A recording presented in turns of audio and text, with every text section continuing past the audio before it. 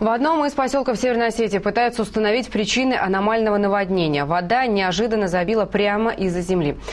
По всей деревне появились сотни источников, и это при том, что дожди в районе большая редкость. Затоплены десятки домов, залиты огороды и поля. По первой версии произошедшего в материале нашего корреспондента Александра Кундухова.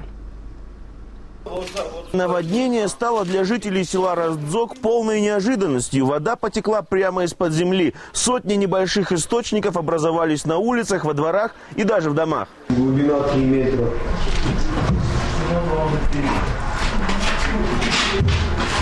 Почти он сравнялась с землей. Затоплено все. Сначала вода заполнила подвалы, теперь подмывает фундаменты. На домах из-за этого появились внушительные трещины, строения покосились и даже со стен падают подвесные шкафы. Воды с каждым днем становится все больше, и справиться с ней не удается даже с помощью насосов. 10-15 тонн выкачали отсюда, с этого подвала. В течение суток она опять вот так же наполнилась. И купил специальный насос, она круглые сутки качает, но воды меньше не становится. Затоплены хозяйственные постройки. Скотину по ночам жители Раздзога держат на улице. Да и урожай со своих участков они уже, скорее всего, не соберут. Огороды превратились в настоящее болото. Картошку посадили, фасол посадили, уже даже туда заходить не, неохота, там затопило все, уже гнило. И что еще его обрабатывать, полот уже не, не стоит даже.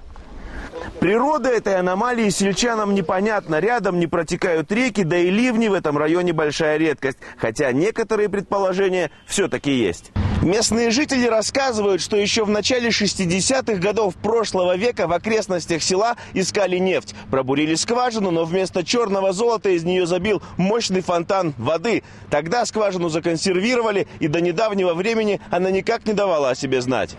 За последнее время на склонах вокруг села произошло несколько оползней, которые могли повредить скважину. Эту версию не исключают и специалисты. Это современные тектонические процессы, которые происходят в недрах Земли.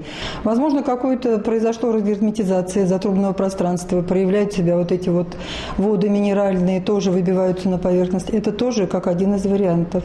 Работы по ликвидации ЧС начнутся уже в ближайшее время. В первую очередь необходимо создать сеть водоотводящих траншей, чтобы обезопасить дома. Александр Кундухов, Алам Маргоев, Таймурасов Жукоев, Станислав Худиев. Вести. Северная Осетия.